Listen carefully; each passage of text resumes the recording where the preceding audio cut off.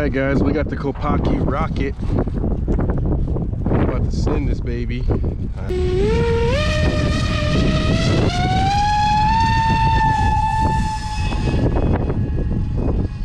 Yes. We're gonna come with the wind. Whoa! Holy crap, dude. 3S.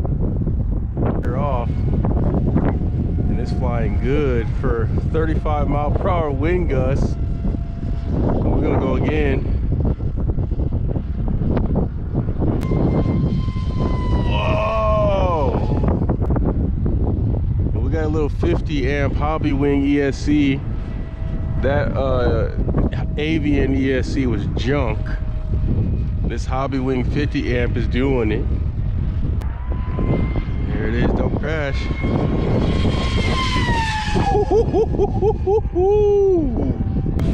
What is it, the F540 brushless motor, 4370 kV. And wow, 3S is a rocket, guys.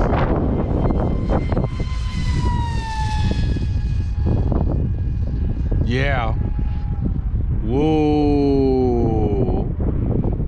I could think of, man, if you had this on like a Diatone Ripper or something that's a little bit more, we're gonna have to smooth this body out, get rid of some of the, uh, you know, ripples.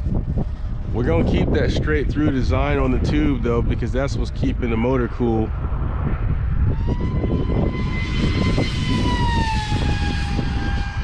Whoa, baby. We're just gonna cruise it.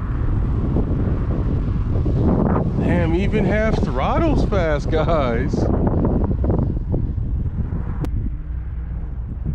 Man.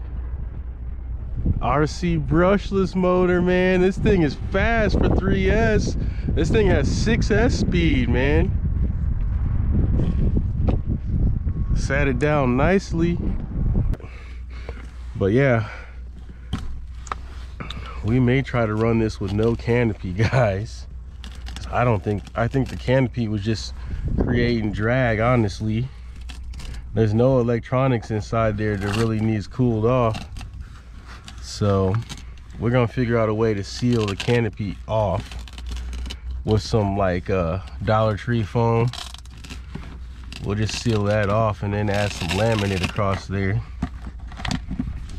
Yeah battery is warm. Let's feel that motor mount motor mount's a little warm we did make a motor mount out of sheet metal to uh, dissipate some of the heat. But yeah dude rc brushless car motor they take it's a six bolt pattern but we just only did three bolts.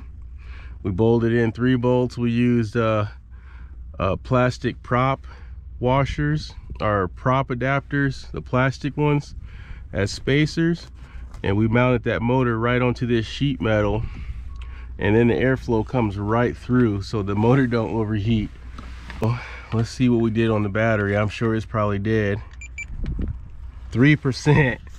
I knew it. I can i could feel it was getting weak.